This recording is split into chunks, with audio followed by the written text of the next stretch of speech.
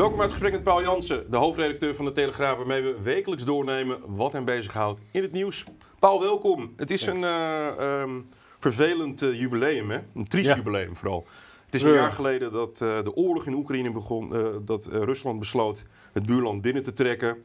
Waarvan we eigenlijk allemaal een beetje dachten dat gaat niet gebeuren.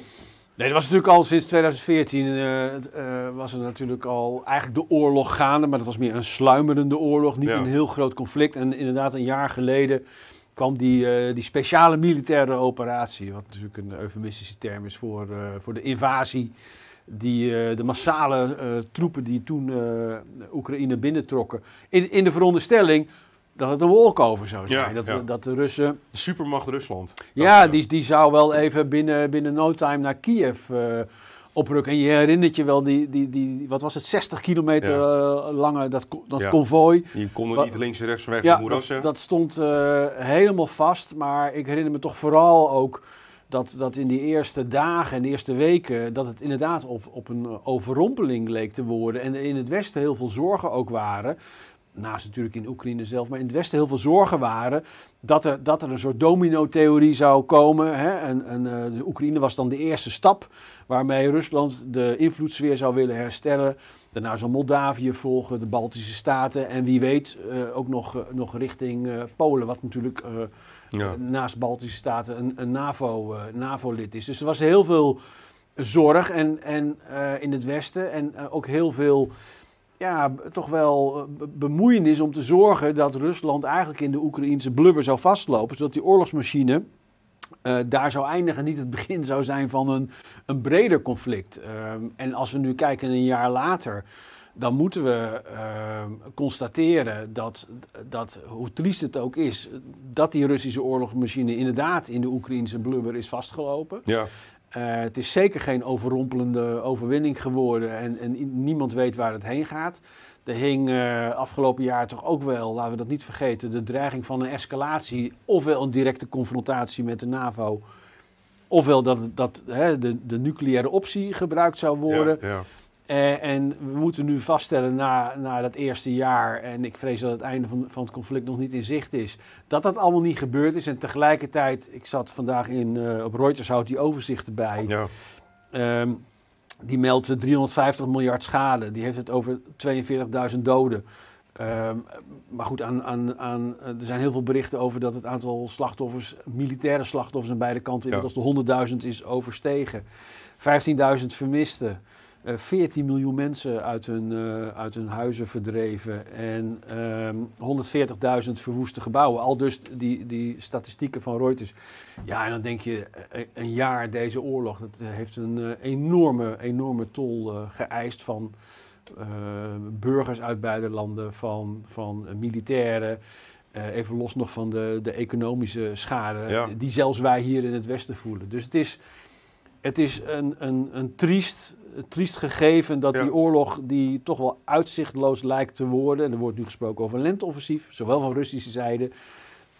Westen stuurt steeds meer wapens en steeds Ja. meer zwaardere wapens daarheen. Om... Rutte is ook naar uh, bliksemverzoek. Ja, die is, eh, die is op bezoek. Nou, dat zal niet alleen zijn om eh, een schouderklopje te geven, Nee. maar... eh, Zelensky wil maar één ding. Ja, die, nog meer wapentalen. die wil eh, nog meer wapens en we zijn tegenwoordig al wapens aan het geven die we eigenlijk zelf niet eens meer bezitten. Nee, nee. dus eh, dat, dat zegt ook al wat.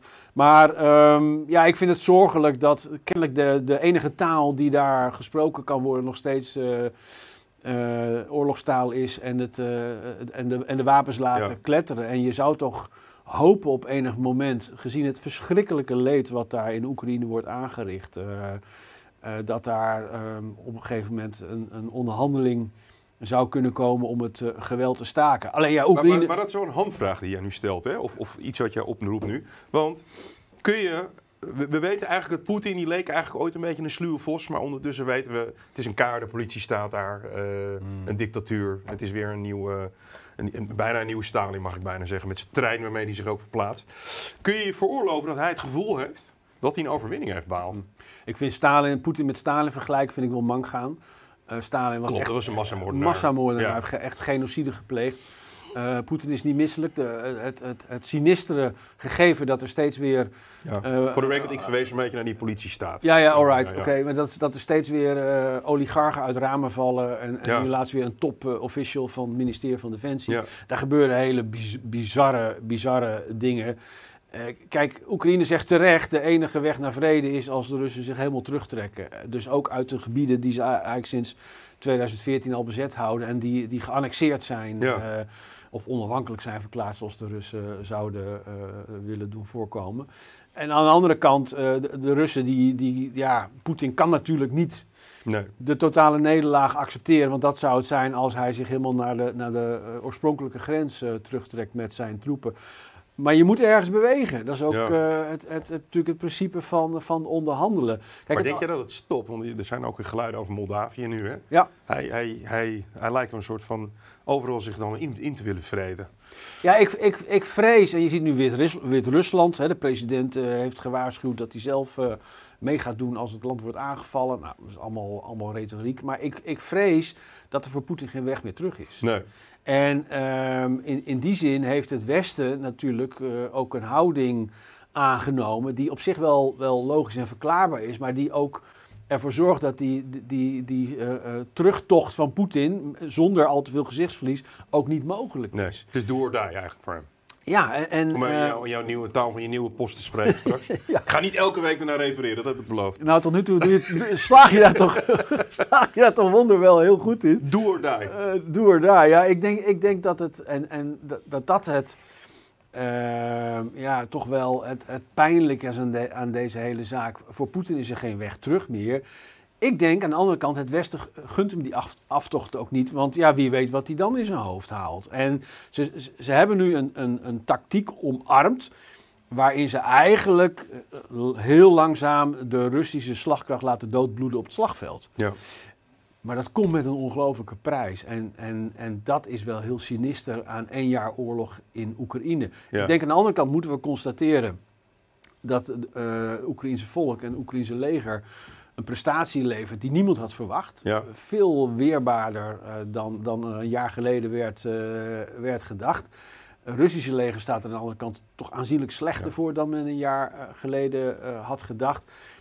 Maar het conflict is tot nu toe, hoewel het nu toe op, op de grond althans zich beperkt heeft tot, tot een regionale oorlog, ja. hangt er nog steeds het risico over dat het, dat het breder kan worden en, en dat we in een veel breder groter conflict worden gezogen. Dus uh, uh, ja, ik zie eigenlijk uh, na één jaar alleen maar leed, ellende en, en verlies. Er valt hier niks te vieren of trots op te zijn, want het is denk ik voor alle partijen een, eh, een, eh, een triest jubileum.